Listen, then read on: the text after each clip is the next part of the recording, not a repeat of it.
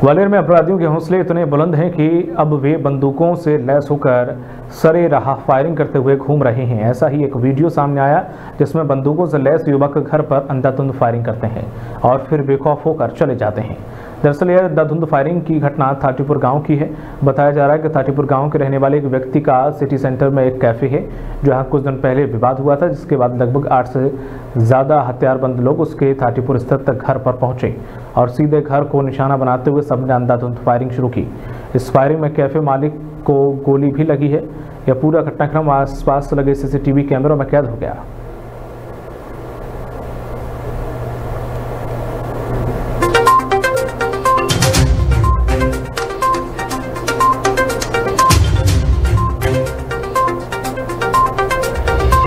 ये थाटीपुर गाँव की बात है, जो थाना विश्वविद्यालय आता है। समुन सिंह यादव हैं और उनके पड़ोस का रहने वाले हैं, विनय विवेक, जितेंद्र यादव वगैरह।